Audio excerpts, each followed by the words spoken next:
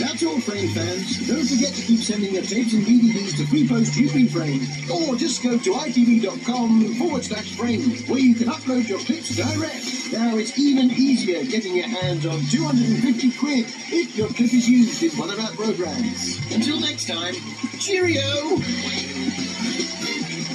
It's Educating Joey Essex general election. What you say tonight at nine? All you need to know about the election this Thursday. Next tonight over on ITV. No need to vote, just watch. It's the UEFA Champions League. Juventus versus Real Madrid. Next here though for Been Framed.